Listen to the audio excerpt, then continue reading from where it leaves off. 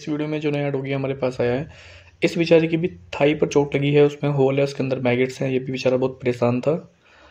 Doggy वहाँ पे चाट ज़रूर रहा है, पर अपनी चोट को ठीक नहीं कर पा रहा है, क्योंकि होल है, होल के अंदर मैगेट्स हैं, आप वीडियो को ध्यान से देखना, आपको उसके अंदर मैगेट्स दिखाई देंगे।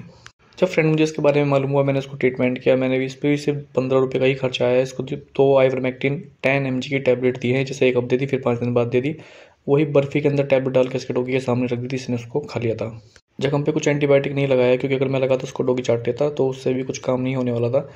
फ्रेंड ये चैनल मैंने इसलिए बनाया जिससे हम लोग अपने अपने एरिया में इस तरह के एनिमल्स की हेल्प कर सकें। आपने मेरी वीडियो देखी होंगी, उसमें कितना सिंपल तरीका मैंने बताया है और रिज़ल्ट आपके सामने सारे डोगी देखो, ठीक हो जाते हैं। सड़क पे मेरे पास कोई शेल्टर नहीं है, जगह नहीं है, जहाँ पे हॉस्पिटल नहीं है, कि मतलब मैं उनका प्रॉपर ट्रीटमेंट कर सकूँ। मैं सबको सड़क पे ट्रीटमेंट करता हूँ और वही बर्फ़ी के अंदर टैबलेट डाल कर देता हूँ। आपने मेरी वीडियो देखी होगी। मेरा पहले एक और चैनल था, यही सेम नाम था। डिस्क्रिप्शन में मैं उसका नाम भी लिख दूँगा। थोड़ा सा एडिट किया है उसी नाम को। वो मेरा मोबाइल चोरी हो गया था। मैं डोगी का ट्रीटमेंट कर रहा था। वो बहुत सीरियस केस था। मेरी स्कूटी पे मोबाइल रखा हुआ था। किसी ने उसको उठा लिया तो इस वजह से वो जी अकाउंट दोबारा से रिकवर नहीं कर पाया मैं।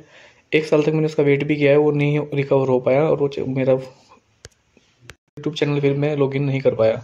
उसमें कई वीडियो पे मिलियंस व्यू हैं। बहुत लोगों का प्यार मिला। अब बहुत सारे कमेंट्स में देखता हूँ, दुख होता है कि यार मैं उनका रिप्लाई नहीं कर पा रहा हूँ। फिर मैंने दूसरा चैनल इसलिए ही बनाया है, एक साल के बाद। फ्रेंड मुझे कोई नेम फेम नहीं चाहिए। मुझे अपने कोई व्यू सब्सक्राइबर नहीं बढ़ाने हैं, कोई अर्निंग नहीं चाहिए। मैं तो सिर्फ़ हेल्प के लिए बनाया है, जिससे लोग अपने एरिया में डॉगी की हेल्प कर सकें। अब तक कोई ऐसा चैनल नहीं है जो इस तरीके से गाइड करता हो, है भी एक दो चैनल तो उनकी बात बताने में ना बहुत कन्फ्यूज़न रहता है कि कौन सी मेडिसिन दें, कैसे दें। मैं आपको सब प्रैक्टिकली दिखाया है, आपने देखा भी होगा कि सब डॉगी बिल्कुल हंड्रेड वन परसेंट ठीक हो जाते हैं। इतने सीरियस सीरियस केस हैं। मैंने सड़कों भी ऐसी टैबलेट से ठीक किए हैं। तो प्लीज़ आप मुझसे जुड़े और कुछ समझ रहे तो आप मुझे कमेंट करें। मैं आपको